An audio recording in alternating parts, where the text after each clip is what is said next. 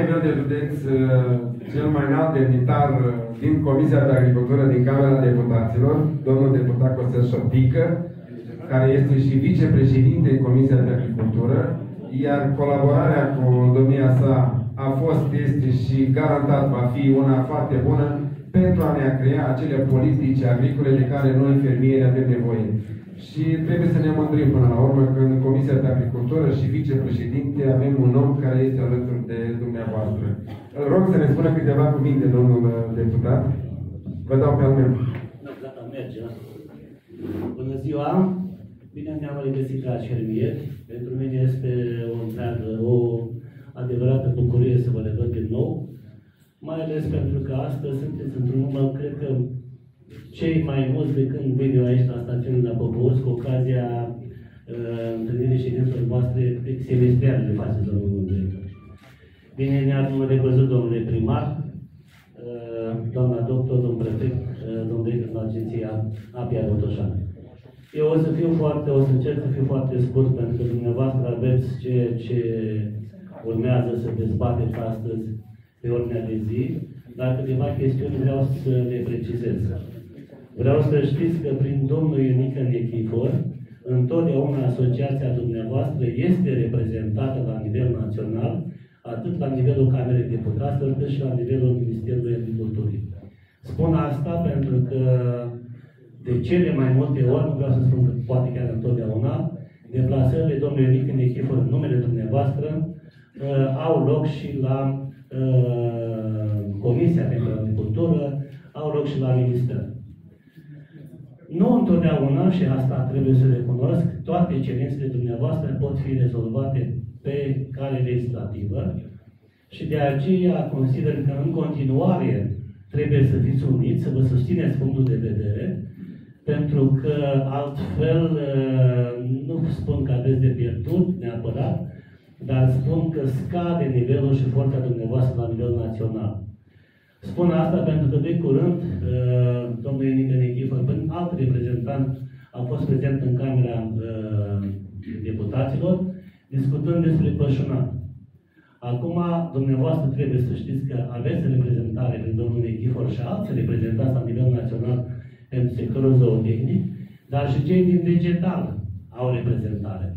Știți foarte bine la ce mă refer aici, da? La faptul că se ridică foarte des problematica deplasării ovinilor și caprinilor pe uh, drumurile publice sau pe drumurile agricole în mod special și acolo apar foarte, foarte des probleme. Și de aceea trebuie ca regulile care le stabilim împreună să fie ulterior respectate.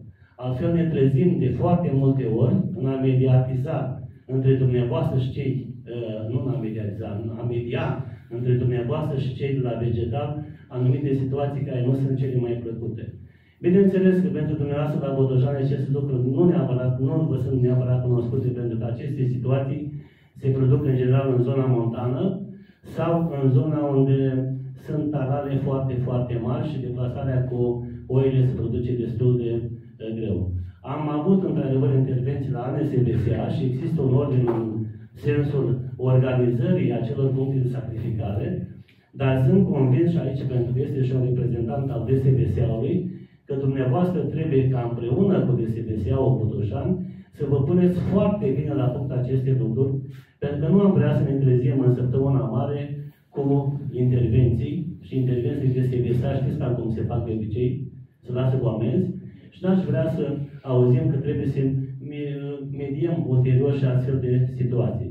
Legat de domnul Nechifor și domnul director Apia, de momentul uh, în care se întâmplă aceste lucruri, mă gândesc acum la plățile pentru subvenții, uh, într-adevăr, trebuie să facem ședințele mai des, nu?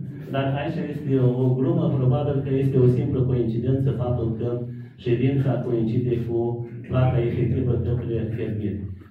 Uh, eu vă propun ca și mod de lucru ceea ce ați făcut și până acum.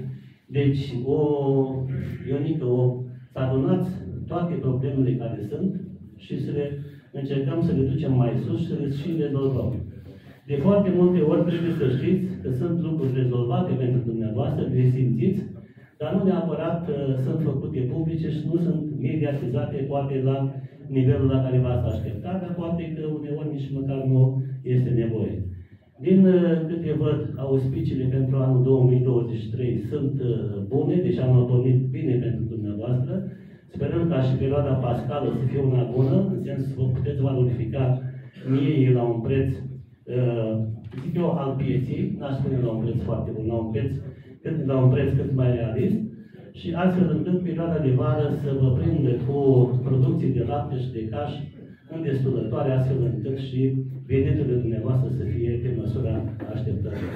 Eu vă urez să fiți sănătoși, să rămâneți uniți așa cum sunteți în acest moment și încă o dată, fără niciun fel de, de, de modestie, eu îl felicit pe Ionică de echipă că reușește în continuare să vă țină împreună și de la an la an să fiți din ce în ce mai mult în această asociație. Forța voastră constă în uh, numărul de, de uh, membri, pe de o parte, și pe de altă parte în unitate. El va succes.